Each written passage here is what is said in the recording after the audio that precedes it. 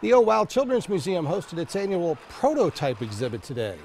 Engineering students from YSU build these devices that could be used at the museum one day. Elementary students get to try them out. And teachers say it's an important part of the learning process.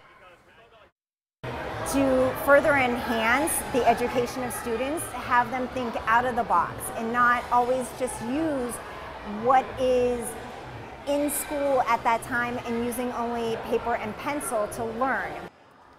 Dozens of prototype exhibits were tested out throughout the day.